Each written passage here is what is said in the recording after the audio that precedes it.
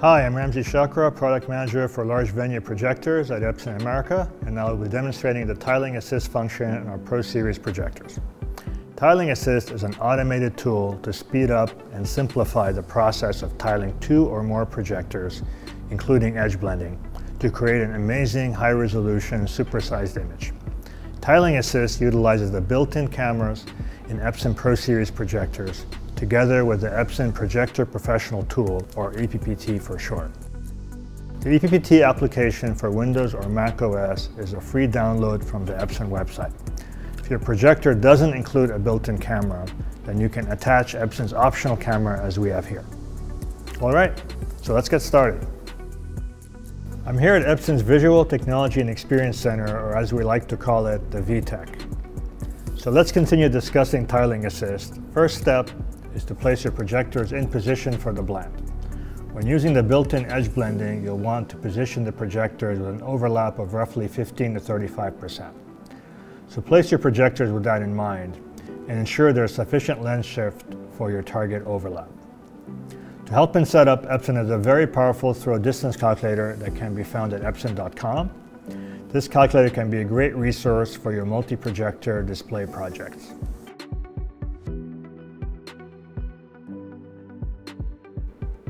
Select the Edge Blending tab, enter your projector and lens and the rest of the required information.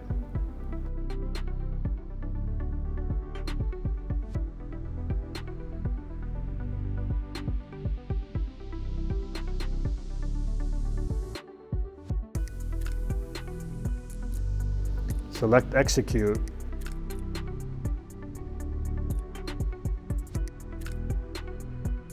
You also get a great 3D view option.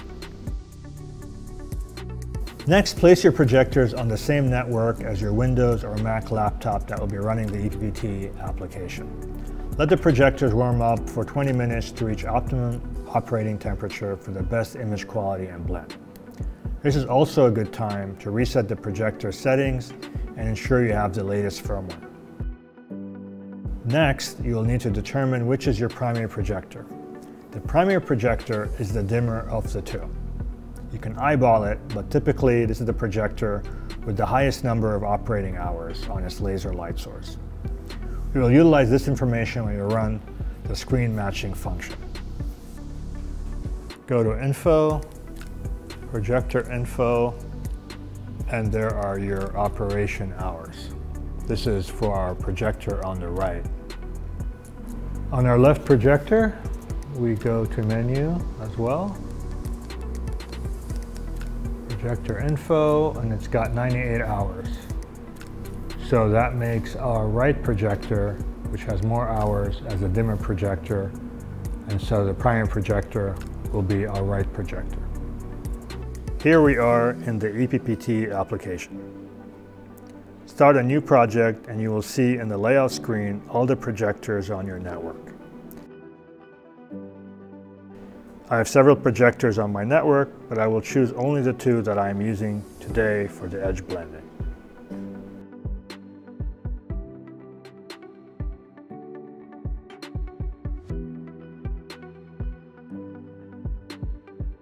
So create a group with these projectors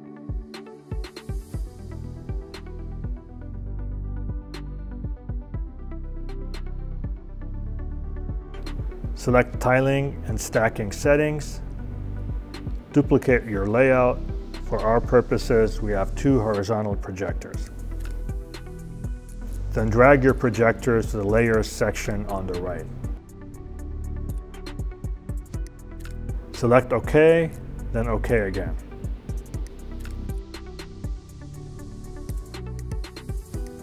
Next, select your group, select Settings, and then Camera Assist. Go to Screen Matching. The screen matching feature ensures that two projectors have matching brightness and color tone. This is critical for two projector blends. You can also choose to perform screen matching after the tiling assist function is completed. Select Start. We are then asked to select our master projector, which is the projector we chose as primary earlier.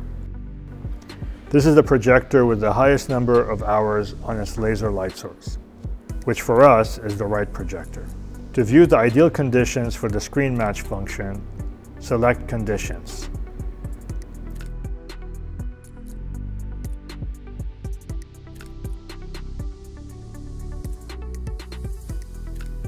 Select Start. The screen matching function will take roughly 9 minutes.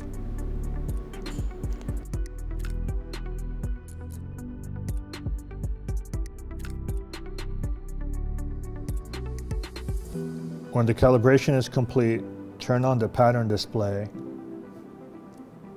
and select before and after execution to compare the results of the screen matching.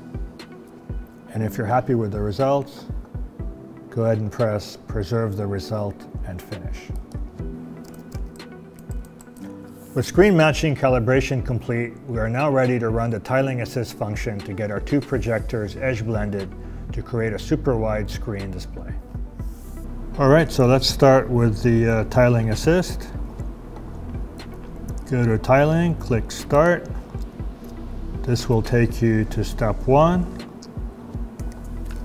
Uh, you may want to take a look at the conditions for the blend. These are the ideal conditions. And you can also checkbox project projector info to ensure you've got the projectors in the right spot. And if you're ready to go, just click start.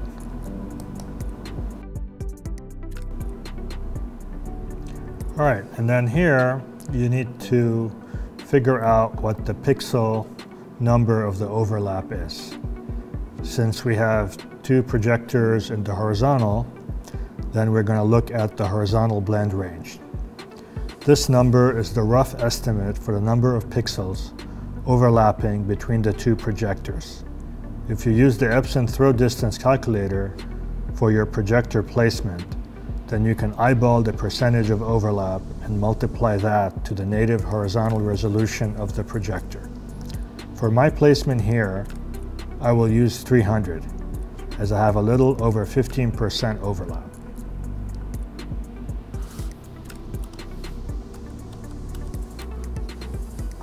And click apply. Now we're in step two. And if you look at your screen, you will see that you have these uh, T bars that need to be moved inside of the yellow vertical lines. And so you can do this with lens shift, one projector at a time. Let's start with the left projector and lens shift it to the right. And then let's go to the right projector and lens shift to the left.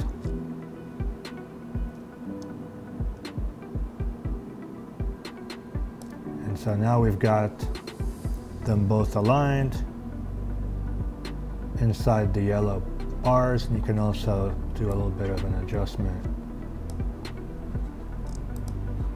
in regards to lens shift up and down. It looks pretty good. Click next. The auto tiling and edge blend function will take approximately two minutes to fully adjust. And this will take us through step three to step four. All right, and then step four allows you to fine tune the blend by selecting one of six points. This is where a laptop running ePPT on a wireless network can come in handy, as it is best to review the projection up close.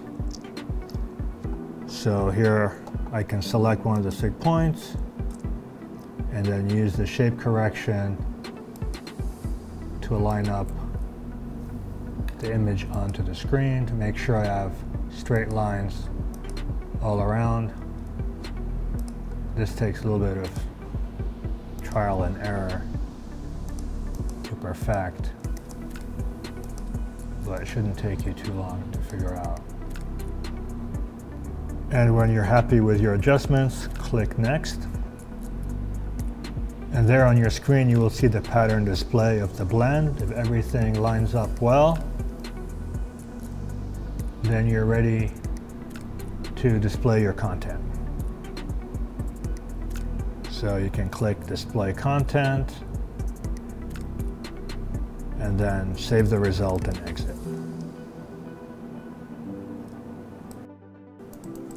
At this point, you're done with the blend and you can feed your source content, which could be from a dedicated video server or desktop PC with a dual output graphics card. Before we finish though, let's take a look at the built-in scale tool that can be used to crop and zoom into your source content. This tool is very useful to line up your content onto the blended screen. It can also be used with a simple content source, such as a laptop or a single video channel media player. So let's demonstrate that. First step is to run the HDMI output from your source to a splitter so both projectors receive the same HDMI signal. Okay, so we want to extend the desktop of our laptop to include the projectors. Move your widescreen content, which can be a photo or a video, to this extended desktop on the projector. Okay, now you're back to EPPT you want to select your left projector, and there's a convenient way of doing that in the bottom left of the screen. And then select Scale. Under Scale, select Auto. Under Scale Mode, select Full Display to take advantage of the full uh, image you have on the screen and under aspect, select horizontal zoom. And now we go again to the lower left corner, select the right projector and do the same thing. Under scale, select auto. Scale mode is full display.